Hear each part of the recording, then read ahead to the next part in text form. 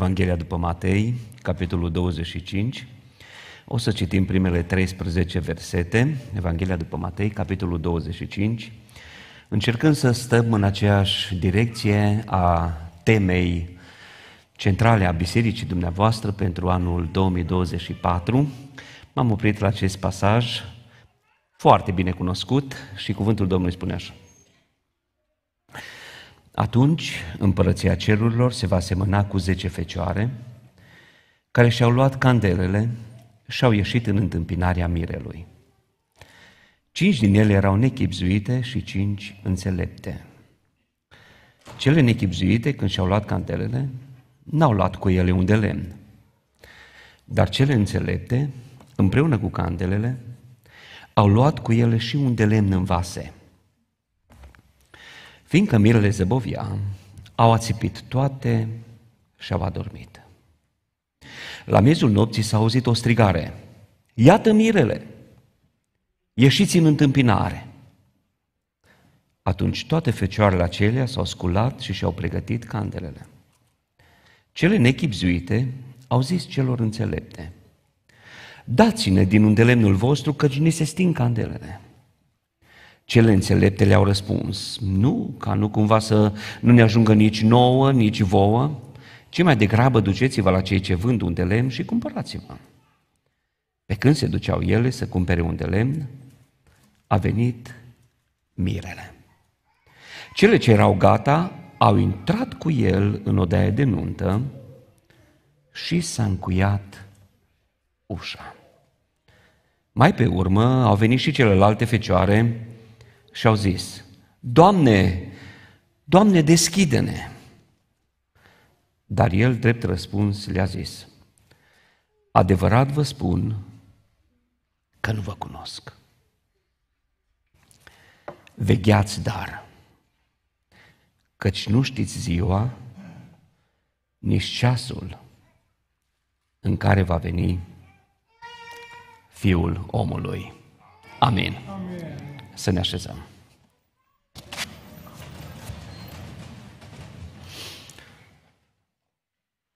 Trebuie să vă mărturisesc că am fost într-o mare dilemă în după masa aceasta. Am avut de ales între două rele și n-am putut să disting care e mai mare sau care e mai mic. Un rău era să pun presiune pe păstorii dumneavoastră și să le spun găsiți o soluție că eu nu mai pot să ajung. Dar m-am gândit, mă, dacă aș fi fost eu păstor în biserică, cum aș fi reacționat? Așa că am ales celălalt rău să mă aveți așa cum sunt. Acum, Domnul știe cât o putea duce în seara asta. Dacă vedeți la un moment dat, frate păstor, că nu o duc chiar bine, opriți-mă, că cred că n-am nici luciditatea să-mi dau seama dacă mă duc bine. Dar, dincolo de toate, Cred că Dumnezeu poate să facă totul dincolo de slăbiciunea noastră. Până la urmă nici nu ne bizuim pe noi, că e vai de noi dacă ne bizuim pe puterea noastră sau pe priceperea noastră. Dar atunci când ne încredințăm în brațul lui Dumnezeu, toate lucrurile sunt bine întotdeauna. Mă bucur să vă revizitez biserica după aproximativ 27 uh, de ani, cred că, Acum 27 de ani am mai fost încă o dată la dumneavoastră și mă bucur că am șansa să fiu din nou împreună și de data aceasta să și slujesc.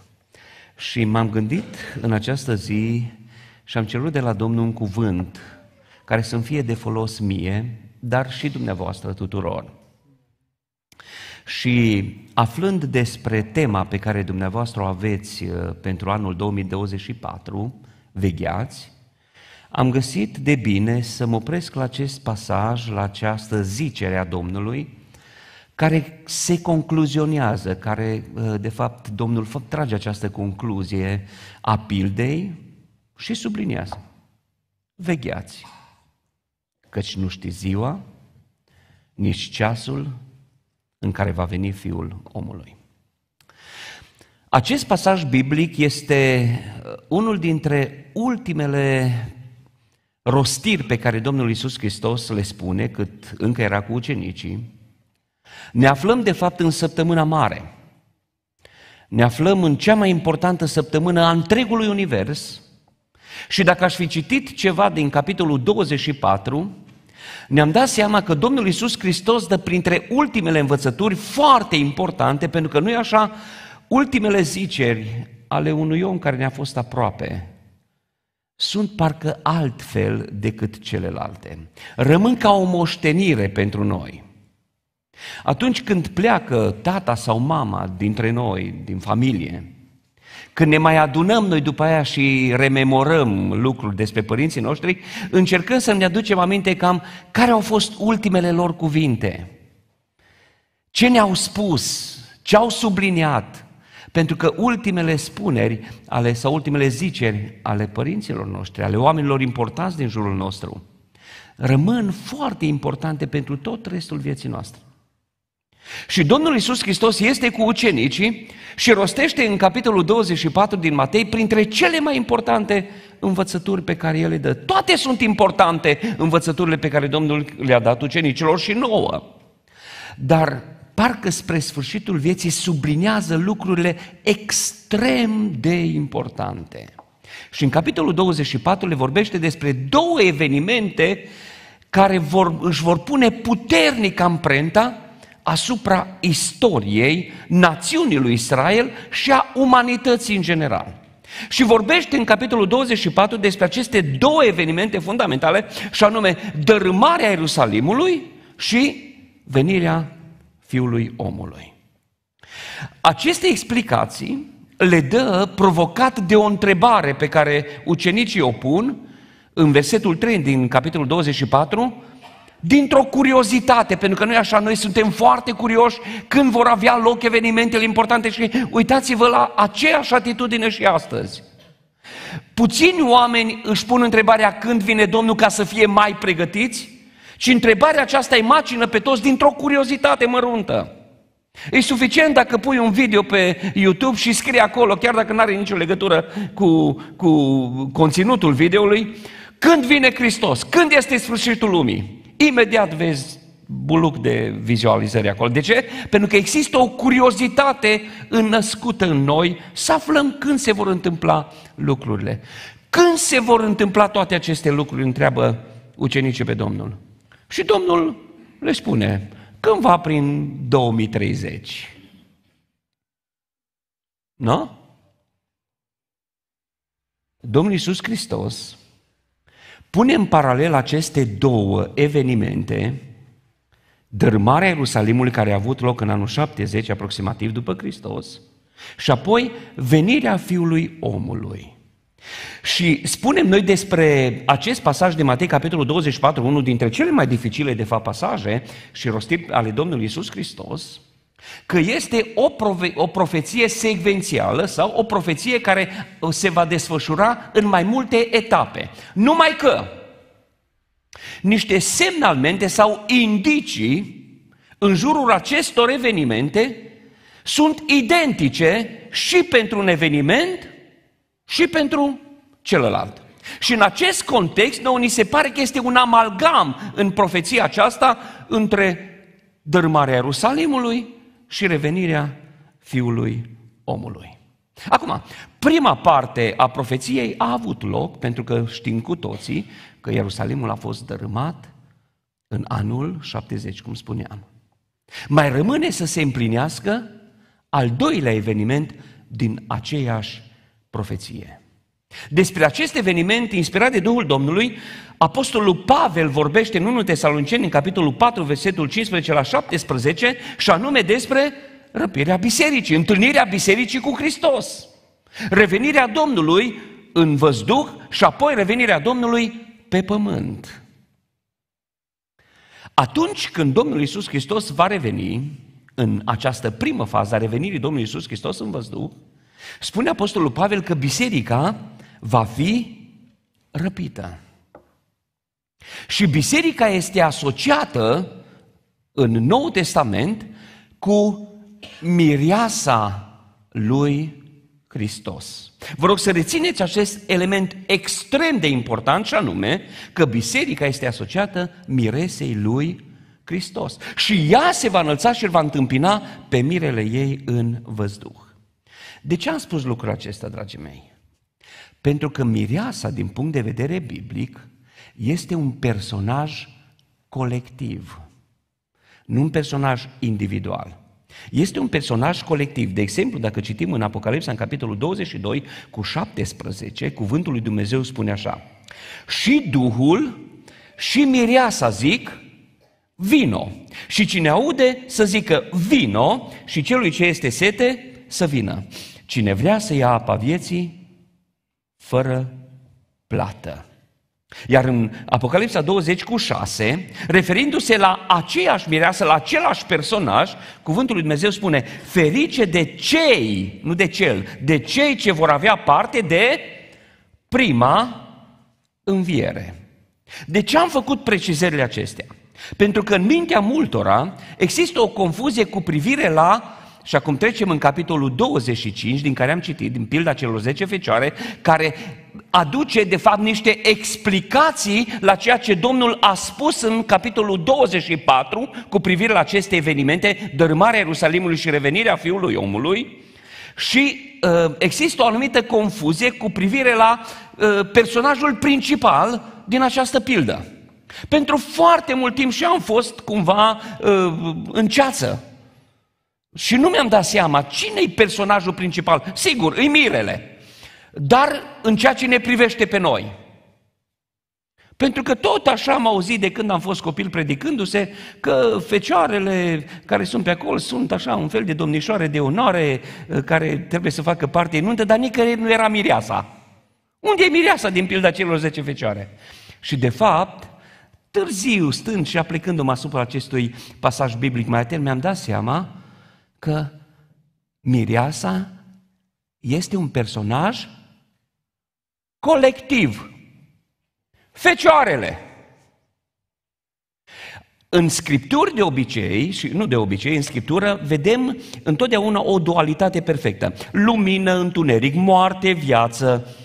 Dar aici, în pilda aceasta, cred că aparte față de oricare altă abordare de genul acesta, foarte polarizată, Domnul Iisus Hristos atrage atenția, de aceea se termină pilda vegheați, pentru că atrage atenția asupra unei posibilități nedorite pentru niciunul dintre noi. Și anume, un tip de personaj care crede că e mireasă și nu este a unui tip de personaj care pretinde că este mireasă și nu este. Care este aproape acolo, seamănă, este împreună cu mireasa care va intra în odaia de nuntă, dar nu intră. Se îmbracă la fel, cântă la fel, îi în adunare, dar nu în biserică.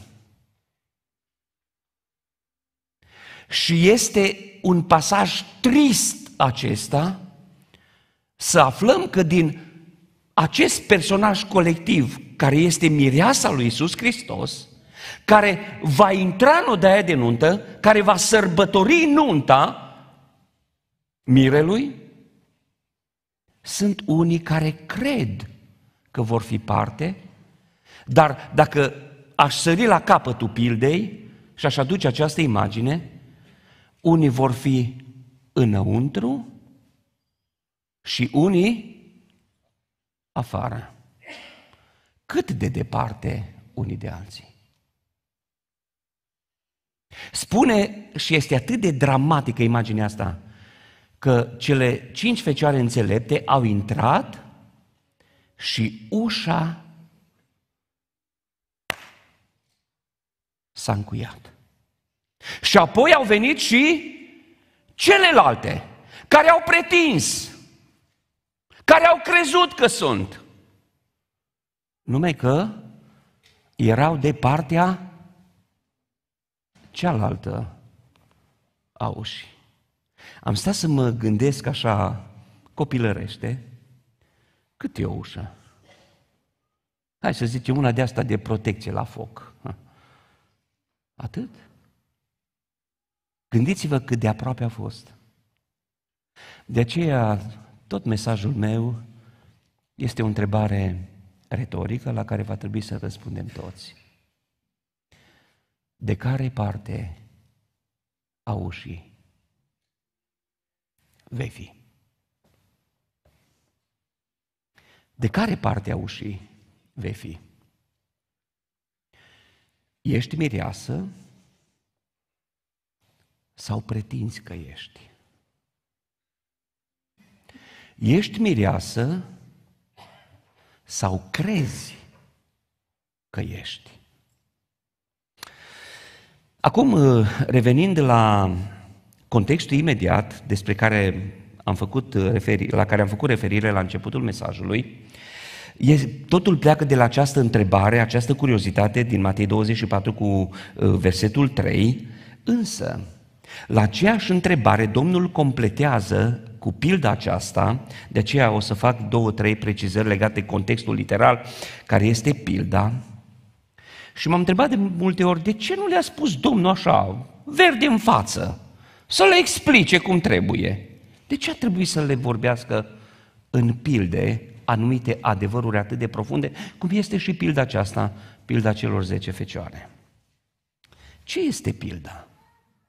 Mi-a plăcut ce a spus cineva despre pildă și a spus așa, pildele nu sunt altceva decât ferestre înspre cer și oglinzi înspre mine.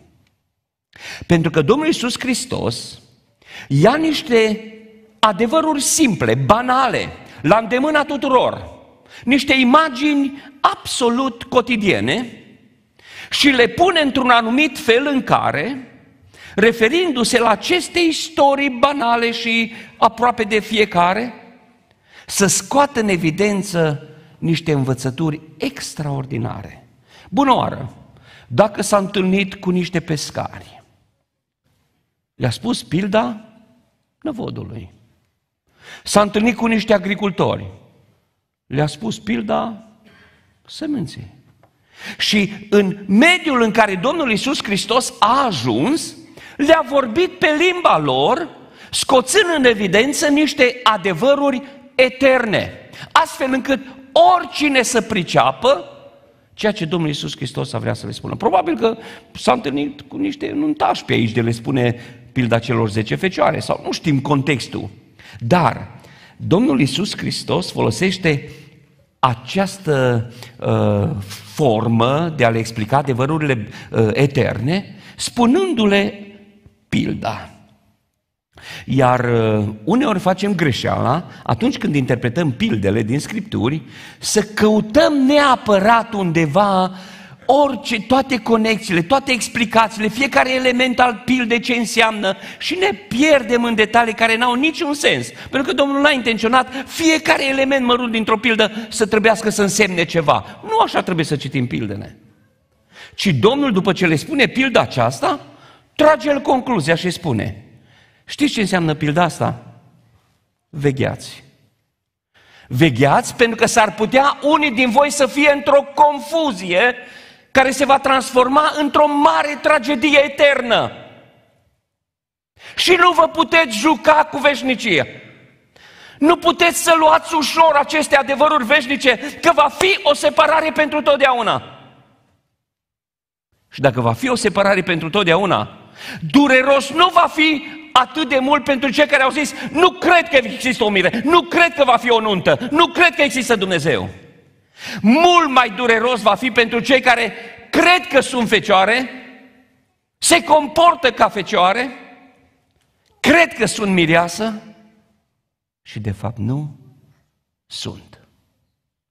Și vor fi atât de aproape, dar de partea cealaltă a ușii. În câteva minute o să aduc două principii fundamentale și trei învățături de bază pentru fiecare dintre noi, izvorâte din această pildă. Primul principiu fundamental pe care uh, l-am scos, l-am extras din această pildă, este că Venirea Domnului este o certitudine. Venirea Domnului este o certitudine. Iată ce spune Evanghelia în Evanghelia după Ioan, capitolul 14, de la versetul 1 la 3. Să nu vi se tulbure inima, aveți credință în Dumnezeu și aveți credință în mine. În casa tatălui meu sunt multe locașuri. Dacă n-ar fi așa, v-aș fi spus. Eu mă duc să vă pregătesc un loc și după ce mă voi duce și vă voi pregăti un loc, mă voi întoarce și vă voi lua cu mine, ca acolo unde sunt eu să fiți și voi. Dacă Domnul a promis că se duce, pregătește un loc și vine, dragă biserică, vine. Iisus Hristos a promis că vine, acest lucru este o certitudine. Este o certitudine chiar dacă întârzie. Pentru unii, întârzierea Domnului transformă această certitudine într-o incertitudine. Dar iată ce spune cuvântul lui Dumnezeu în 2 Petru capitolul 3 de la versetul 3 la 4. Înainte de toate să știți că în zilele din urmă vor veni bajocoritori plini de bajocuri care vor trăi după poftele lor și vor zice unde este făgăduința lui? Căci de când au adormit părinții noștri, toate rămân așa cum erau de la începutul zidirii. Vezi că nu mai vine? Îmi aduc aminte, eram copil și au trecut ceva ani de atunci. Nu erau așa pregătiți frații care citeau, care predicau cuvântul lui Dumnezeu, dar mă aduc aminte că era un accent în toate predicile.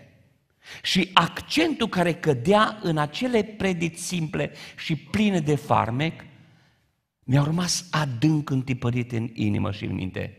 Și anume, de fiecare dată ni se spunea, Hristos este chiar la uși. Hristos este aproape. Hristos vine. Și am crescut cu această permanentă afirmație, această așteptare. Hristos e aproape, Hristos vine, fi gata.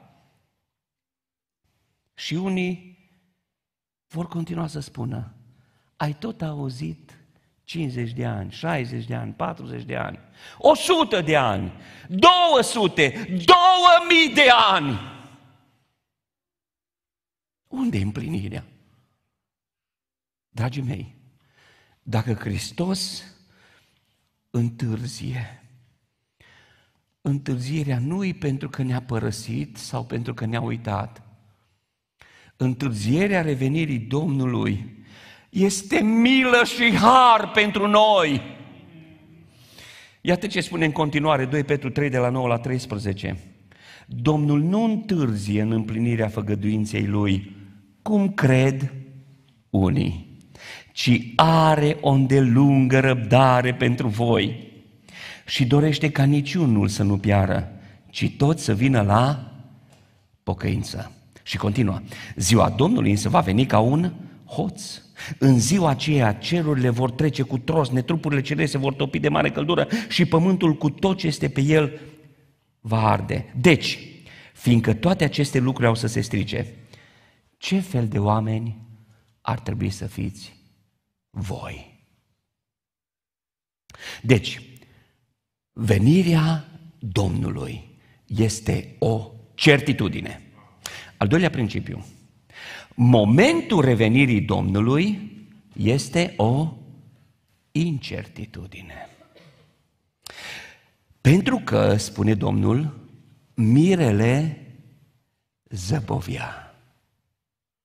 Și zăbovirea mirelui ne pune în dificultate. Când? Obosesc să aștepți. Se tot spune, e aproape, vine și nu mai apare. Dragii mei, întâlnirea noastră cu Hristos poate să aibă loc în două feluri. Vine mirele sau plecăm noi la El. De aceea să luăm bine seama că momentul întâlnirii noastre cu Domnul este o mare incertitudine. În Matei, în capitolul 24, versetul 36 și 43 spune despre ziua aceea și despre ceasul acela nu știe nimeni. Nici îngerii din cerul, nici fiul, nici televangeliștii, ci numai Tatăl. Numai Tatăl. Și continuă în versetul 43. Să știți că dacă ar ști stăpânul casei la ce strajă din noapte va veni hoțul, ar veghea și n-ar lăsa să-i spargă casa. Dar, dragii mei, dacă momentul revenirii Domnului este o incertitudine, Domnul totuși ne lasă niște indicii ca să ne ajute, să ne sprijine, să ne încurajeze în ceea ce El numește fiți veghetori. Vegheați! Vegherea aceasta nu este o stare de asta de pasivitate. Și vom vedea în a doua parte a mesajului că vegherea aceasta este o stare de activitate. Care sunt aceste indicii? Și să nu cumva să credeți că vreau să fac acum o lecție de esatologie aici, ci vreau, bazat pe cuvântul lui Dumnezeu din capitolul 24, să ne încurajăm și să vedem că timpul s-a scurtat. Să vedem că Domnul Iisus Hristos ne dă niște indicii, desigur, așa cum am spus, nu pentru curiozitatea noastră, nici să facem noi ecuații și algoritmi și să spunem, da, atunci punem în calendar. Puteți să puneți în calendar când vine Domnul. Nu asta e treaba noastră. Treaba noastră este să ne pregătim și să fim gata oricând. Asta e ceea ce ne spune Domnul. Să fim gata oricând. Ei, care sunt aceste indicii? Și dacă ne uităm în Noul Testament, vedem o abordare foarte interesantă cu privire la timp. Și Noul Testament ne prezintă timpul acesta al împlinirii promisiunilor lui Dumnezeu, așa, timp, tip pâlnie. Pleacă de la mare înspre mic. Am spune noi, de la zile la ore la clipe. Haideți să urmăm, urmărim câteva versete. În 1 Corinteni, în capitolul 7, versetul 29, Scriptura ne prezintă timpul în așteptarea Domnului în felul acesta. Iată ce vreau să vă spun, fraților. De acum, vremea s-a scurtat. Auziți? De acum, vremea s-a scurtat. Apoi, în Faptele Apostolului, în capitolul 2, cu versetul 17, spune așa. În Zilele de pe urmă, zice Domnul, voi turna din Duhul meu peste orice făptură, feciorii voștri, fetele voastre vor proroci, tinerii voștri vor avea vedenii și bătrânii voștri vor visa visuri. Deci, vremea s-a scurtat, sunt zilele de pe urmă, iar în 1 Ioan, în capitolul 2, versetul 18, mai se strâmtează și spune așa, copilașilor, este ceasul este ceasul de pe urmă. Și după cum ați auzit care să vină anticrist, să știți că acum s-au ridicat mulți anticriști. Prin aceea cunoaștem că este ceasul de pe urmă. Vremea s-a scurtat, zilele de pe urmă, ceasul de pe urmă. Nu vi se pare că se îngustează timpul? Și Domnul Iisus Hristos mai dă niște indicii și o să trec foarte repede peste acestea, dar, repet, nu ca să ne satisfacă o curiozitate copilărească, ci să ne încurajeze să fim gata oricând, să fim veghetori, vegheați. În primul rând, Domnul Iisus Hristos vorbește despre niște semne premergătoare. De aceea trebuie să fim veghetori, pentru că Domnul vorbește de, despre niște semne premergătoare. Care sunt aceste semne premergătoare? Aceste semne premergătoare ne prezintă o normalitate cu care oamenii sunt foarte obișnuiți, de natură să-i adormă pe toți. Cum au adormit toate fecioarele. Acestea această normalitate a lumii care adorme, ațipește o lume întreagă, inclusiv pe cei care îl așteaptă, Iată cum este prezentat în Matei 24, la 4 la 12. Drept răspuns, Iisus le-a zis, băgați de seamă să nu vă înșele cineva, fiindcă vor veni mulți în numele meu și vor zice, eu sunt Hristosul și vor înșela pe mulți. Acum, veți auzi vești de războaie, de războaie și vești de războaie. Vedeți să nu vă spăimântați că toate aceste lucruri trebuie să se întâmple. Dragii mei, războaie au fost de când e omenirea. Dar speculanți de ăștia vin și a început un război. Acum ai război, gata, să termină. Am făcut niște calcule. Începe un alt război. V-am spus eu, acum e un alt război. Da? Îs niște vești, vezi, tot umblă ăștia cu NATO pe aici și venind spre voi, spre Arad, nu știu câte mașini de astea de armată am văzut. Vești de război, gata, vine Domnul. Dragii mei, iată ce spune când vorbește despre normalitatea asta. Sfârșitul nu va fi atunci, pentru că asta a fost dintotdeauna. Continuă. Un neam se va scula împotriva altui neam și o împărăție împotriva altei împărăției. De când e lumea? De când e lumea a fost așa? Apoi, continuă. Pe alocuria vor fi cu tremure de pământ, foame și ciumi. De când e pământul și omenirea tot au fost astea? Tot pandemie și au venit, gata, au venit COVID-ul. Vine Domn, frate, au venit pandemia, uite-te. Scrie în Scriptură. Păi, prima pandemie care a fost. De astea au fost întotdeauna.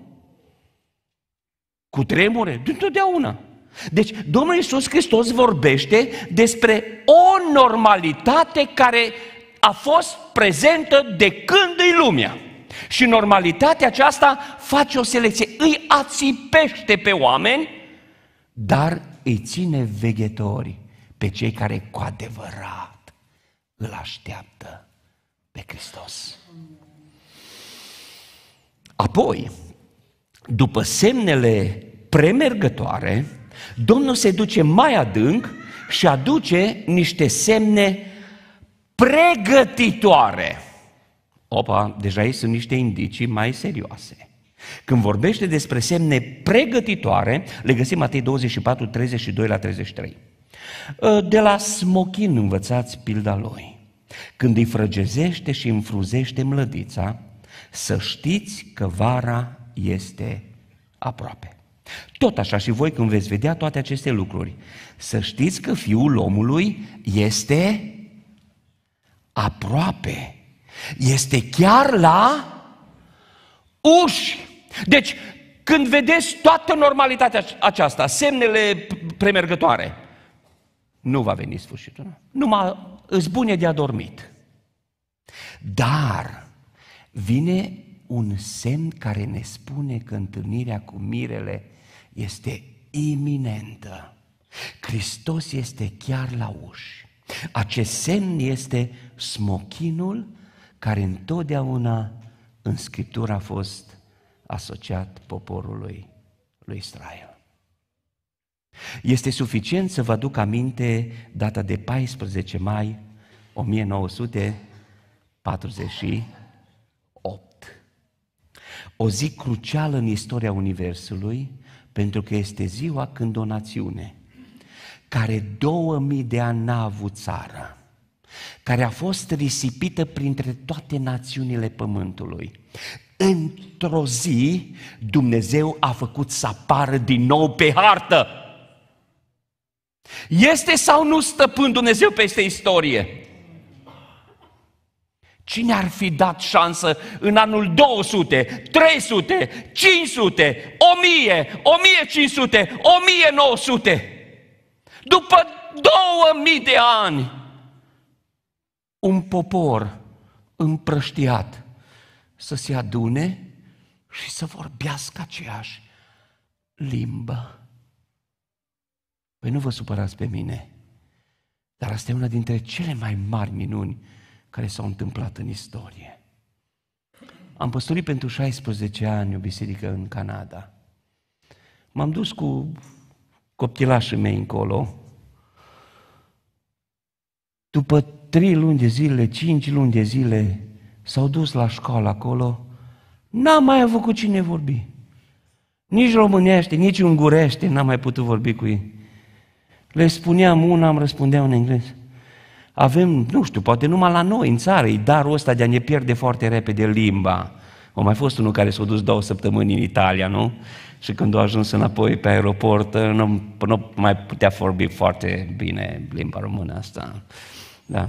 Ehm, dragii mei, noi dacă ne pierdem limba, păi dacă te duci acum, încă în Europa e bine, că ăștia vin repede în vacanțe acasă la voi, la bunici. Dar când ai trecut balta dincolo, cu copiii, în Canada, în Statele Unite, atâta mai știu. sarmale și slănină. În rest nu mai ai ce vorbi cu ei.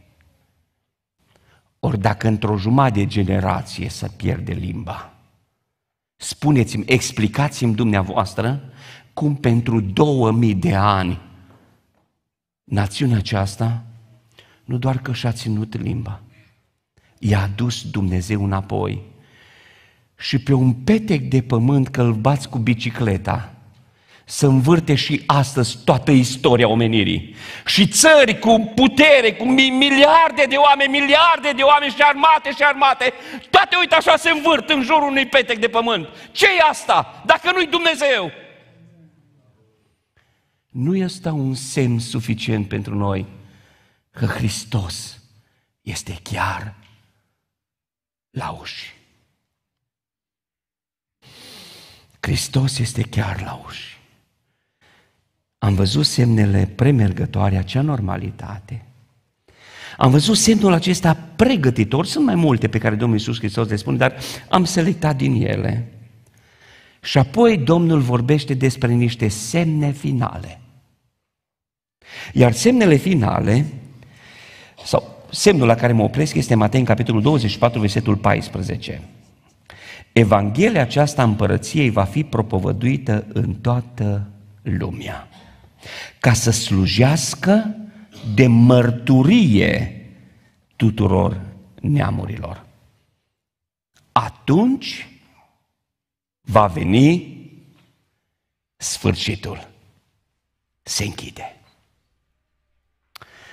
Și atunci, auzind tot felul de explicații, nu știu când, nu știu pe unde mai trebuie să meargă misionarii noștri ca să se împlinească versetul ăsta. Dragii mei, nu mai este un petic de pământ unde sateliții lui Elon Musk să nu acopere cu informație. Nu-i nevoie pentru împlinirea acestui verset decât de o decizie a lui Dumnezeu. Vorbeam cu un prieten de-a meu care e misionar în junglă pe FaceTime. Pentru că nu mai este un petic de pământ unde să nu mai ajungă informația. Din punctul meu de vedere, totul este pregătit. Am zis eu că vine Hristos anul ăsta? Nu. Am zis că vine într-o sută de ani? Nu. Mă întreabă deseori studenții, frate, zice, știi când vine Hristos? Normal că știu, de ești profesor, cum să nu știi? Când? Oricând. Oricând. Dar când revine Hristos, dragul meu prieten, ascultă-mă bine. Când revine Hristos, revenirea Lui este instantanee. O clipită de ochi este lungă. Nici tu din Tatăl nostru nu o să mai putem să spunem atunci. Pentru că revenirea Domnului va fi instantanee. Domnul să ne dea minte și o inimă bună să așteptăm, să grăbim și să fim gata când mirele va veni. Deci dacă am văzut cele două uh, cele două concepte, principii fundamentale, și anume că venirea Domnului este o certitudine, revenirea Domnului este o incertitudine și avem niște indicii generale despre acestea, am spus că pe final am să aduc trei învățături pe care să le punem în inimă cu privire la aceste lucruri care vin repede înspre noi. Prima învățătură practică. Unele lucruri nu pot fi amânate. Unele lucruri nu pot fi amânate. Fecioarele nechipzuite, adică cei care cred că sunt mireasă, se comportă ca mireasă, au amânat. Au amânat să-și iau ulei, să-și umple candelele, să aibă rezerve. Cu alte cuvinte, au amânat să se pregătească pentru întâlnirea cu mirele. N-au fost veghetori. Unele lucruri nu pot fi amânate. Noi avem rău în obicei să amânăm lucrurile. Vorba românească, vorba voastră a românilor, nu? Deci nu face astăzi ce poți lăsa pe mâine. Acum, vorbeam cu un prieten, l-am vizitat uh, într-o altă țară și am zis, hai să ne vedem la o cafea. Și a zis, bă, m-aș vedea cu tine la o cafea, dar că, viciile noastre, nu? Uh, dar uh, nu, nu sunt țară. Dar unde ești? Ce ești acasă, în România. Dar cum așa? Zice, m-am dus că e bolnav tata. Dar cum? Ce s-a întâmplat? Eu, mă, din toată mă alertez, nu? Zice, știi ce s-a întâmplat? Lucra prin curte și s-a zgâriat într-o sârmă. Și ca noi bărbați, ce facem când ne zgâriem cu sârmă? Spălăm o țără și vedem mai departe, nu de lucru. Doamnelor, nu vă mai trimiteți bărbați la spital, că noi nu mergem. Noi mergem atunci când e gata. Da? Știți cum se zice, femeile sunt bolnave toată viața și nu mor. Bărbații sunt bolnăvesc odată. Și-au plecat. De ce? Noi amânăm. Că după aia se înroșește o țără, dăm cu spirit. Punem apă oxigenată, nu? Și așa a făcut și tata prietenului meu. Când a început să îi se umfle, când a văzut că nu mai poate să pună piciorul în pământ, nici atunci el, da, las că pun, nu știu, urzică, pun frunze de lobodă, noi găsim soluții. Dar n-a mai putut. Și a ajuns la spital aproape să-i taie piciorul. De ce? A amânat. Lucruri pe care putea să le rezolve atât de simplu, la timpul potrivit. Acum, dragii mei, din pilda aceasta învăț că mirele, chiar dacă întârzie, vine. Și până vine Domnul, avem de făcut niște lucruri pe care nu le putem amâna. De aceea în Evrei, în capitolul 3, versetul 7, spune așa, de aceea, cum zice Duhul Sfânt, astăzi, dacă auziți glasul Lui, nu vă împietriți inimile ca în ziua răzvrătirii, ca în ziua ispitirii în pustie. Și continuă în 3 cu 15, câtă vreme se zice, astăzi, dacă auziți glasul Lui, nu vă împietriți inimile ca în ziua răzvrătirii. Mântuirea nu trebuie amânată. Întoarcerea la Dumnezeu nu trebuie amânată. Împăcarea cu Dumnezeu nu trebuie amânată. Ziua mântuirii nu trebuie amânată. Amână ce vrei, dar nu amâna întoarcerea la Hristos. Pentru că se închide ușa. De care parte a ei vei fi? A doua învățătură practică. Unele lucruri nu pot fi împrumutate. Unele lucruri nu pot fi împrumutate. Și ele, aceste nechipzuite, care pretindeau, care credeau că sunt mireasă, se comportau ca mireasă, s-au dus la celelalte și dați-ne și nouă. Că ni se sting candelele, dați-ne și nouă. Nu se poate un pic de credință, un pic de pocăință, un pic de mântuire de la unul la altul. Nu se poate da pe familie așa, pe neam. Era o cântare pe care nu am mai cântat-o de mult. Am văzut că voi cântați cântări vechi și frumoase. Cred că nu eram însurat când am cântat ultima dată și asta e tare de mult. Rugăciunea mamei mele nu este de ajuns. Eu trebuie să mă rog. Rugăciunea tatălui meu nu este de ajuns. Eu trebuie să mă rog. Și aș continua. Credința părinților nu e suficientă pentru copii. Și credința copiilor nu e suficientă pentru părinți. Pentru că credința nu e tranzitivă, mântuirea nu e tranzitivă. Nu se poate da de la unul. Bunicul a plantat biserici, bunicul a deschis, a început pocăința în oraș. Nu e suficient. El stă cu berea în mână și vorbește, să laudă cu prietenii lui că bunicul s-a fost primul pocăit. Nu-i destul. Pocăința nu-i de împrumut. Pentru că, dragii mei, în ziua judecății vom fi singuri. Vom fi singuri, nici pe biserică, nici pe neam, nici pe oraș. Nu așa ne vom prezenta înaintea lui Hristos, ci fiecare vom sta față în față cu judecătorul atunci. Cu judecătorul. Unele lucruri nu pot fi împrumutate. Legământul cu Dumnezeu în apa botezului trebuie să fie individual.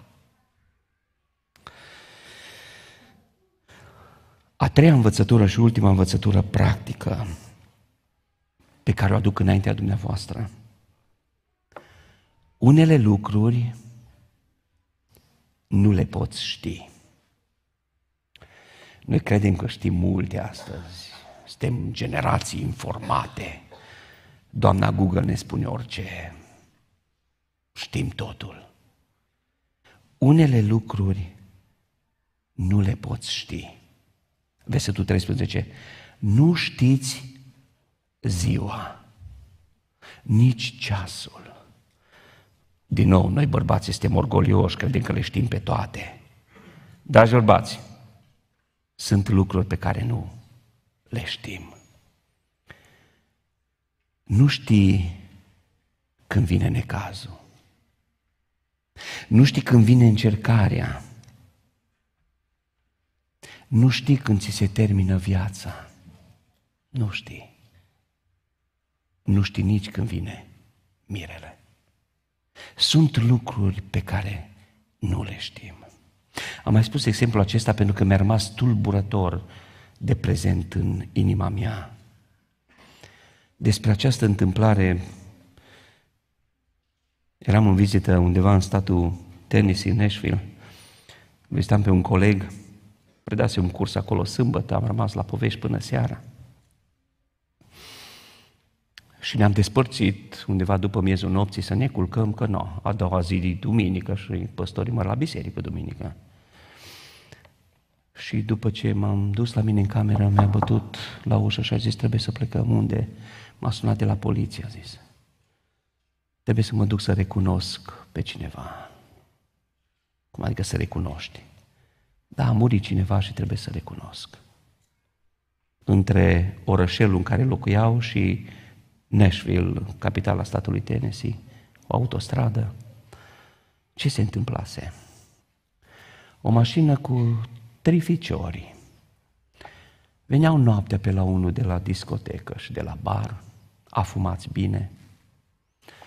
Și fiindcă a trebuit să oprească pe marginea drumului, au tras lângă autostradă. Și băiatul acesta avea 19 ani. În loc să ia spre margine, a luat-o spre mijlocul autostrăzii. A venit din spate o mașină, l-a lovit din plin și a murit pe loc. L-am văzut foarte tulburat pe colegul acesta și am întrebat de ce ești așa tulburat și a zis este o poveste tristă acum. Pentru că băiatul ăsta care tocmai a murit a fost un băiat atât de bun, a slujit în biserică, a fost în fanfară, în orchestră, la tineret, implicat în biserică.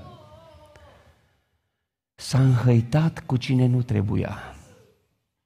Ca așa îi, dragi tineri, luați forma grupului din care faceți parte. Și la 18 ani a zis, acum mă duc să-mi trăiesc viața. A zdrobit inima părinților care au rămas plângând în biserică. Și s-a dus să-și trăiască viața. Și acum, la 19 ani, îi se terminase. Întâmplarea este și mai tragică pentru că îmi spune păstorul acesta, în urmă cu câteva săptămâni mi-a făcut o vizită. Și când a venit în vizită, l-am întrebat, auzi, când te întorci?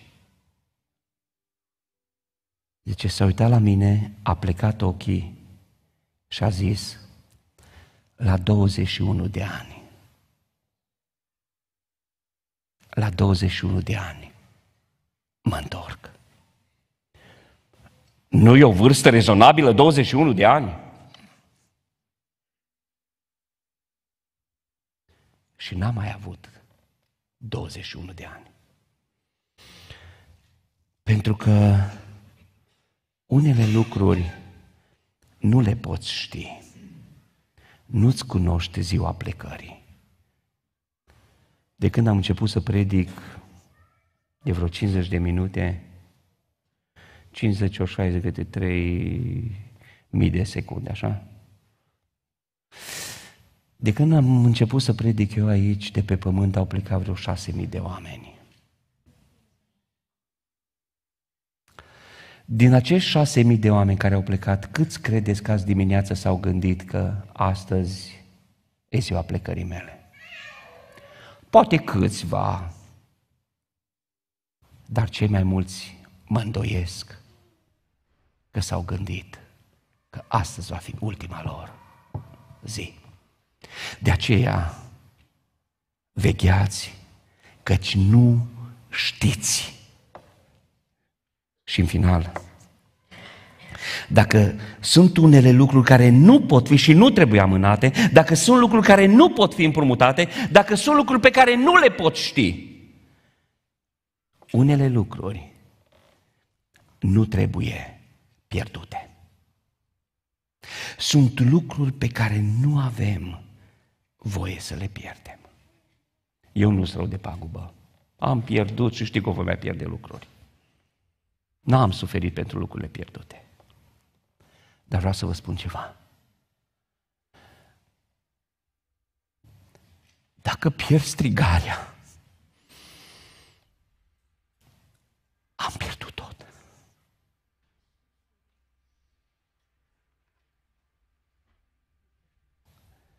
Dacă se închide ușa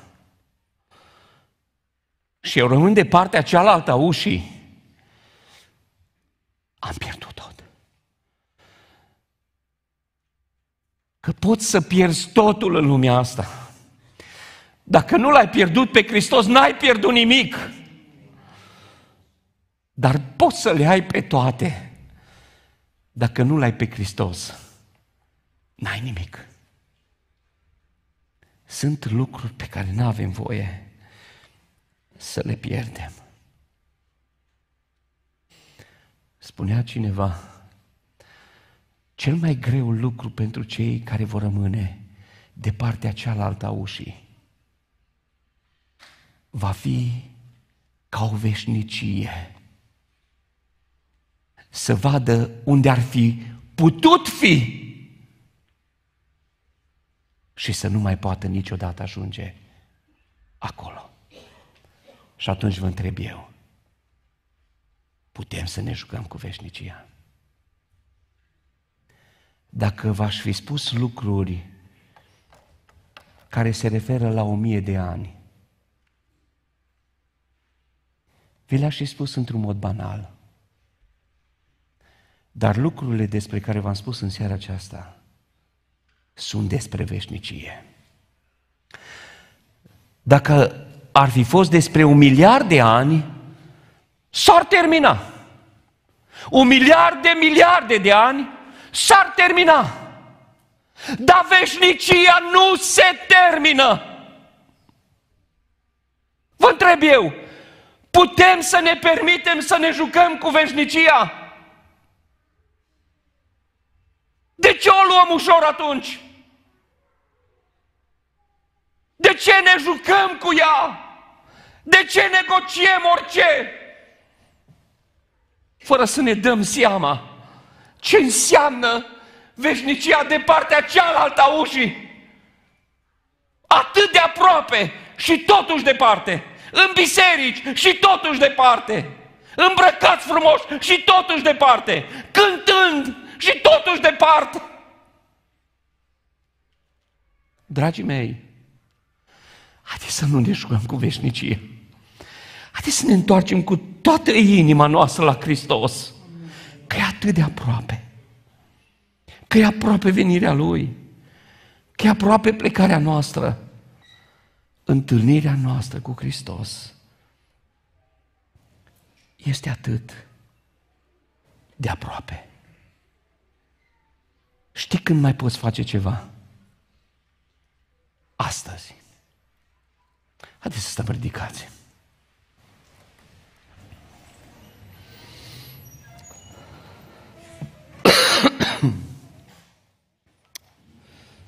În clipele care urmează, aș vrea să stăm în rugăciune înaintea lui Dumnezeu. Nu mă voi ruga eu pentru nimeni, pentru că eu nu te cunosc și nu știu cine ești, ce te frământă, ce căderi, ce zdrobiri, ce viață, ce este în adâncul sufletului tău, ce ascunzi. Tu știi.